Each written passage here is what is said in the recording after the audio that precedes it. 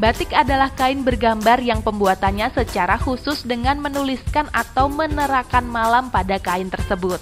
Kemudian pengolahannya diproses dengan cara tertentu yang memiliki kekhasan. Batik Indonesia sebagai keseluruhan teknik, teknologi serta pengembangan motif dan budaya yang terkait oleh UNESCO telah ditetapkan sebagai warisan kemanusiaan untuk budaya lisan dan non-bendawi sejak tanggal 2 Oktober tahun 2009.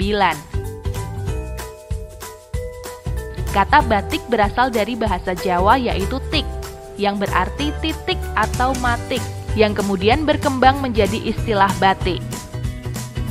Seni pewarnaan kain dengan teknik perintang pewarnaan menggunakan malam adalah salah satu bentuk seni kuno.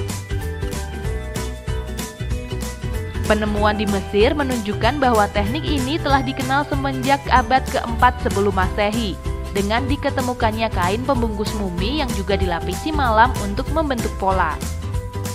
Di Asia sendiri teknik serupa batik juga diterapkan di Tiongkok semasa dinasti Tang serta di India dan Jepang semasa periode Nara. Di Afrika, teknik seperti batik dikenal oleh suku Yoruba di Nigeria, serta suku Soninke dan Wolof di Senegal. Di Indonesia, batik dipercaya sudah ada semenjak zaman Majapahit dan menjadi populer pada akhir abad ke-18 atau awal ke abad 19.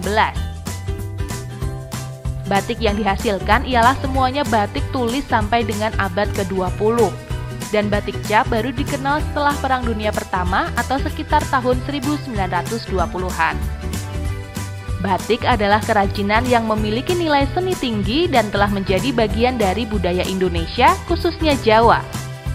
Perempuan-perempuan Jawa pada masa lampau menjadikan keterampilan mereka dalam membatik sebagai mata pencaharian sehingga pada masa lampau pekerjaan membatik adalah pekerjaan eksklusif perempuan sampai ditemukannya batik cap yang memungkinkan masuknya laki-laki ke dalam bidang ini.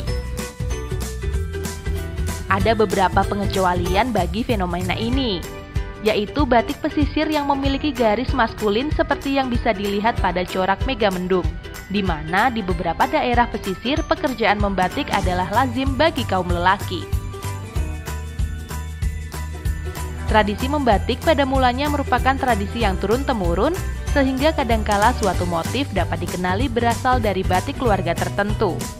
Beberapa motif batik dapat menunjukkan status seseorang. Bahkan sampai saat ini, beberapa motif batik tradisional hanya dipakai oleh keluarga keraton Yogyakarta dan Surakarta.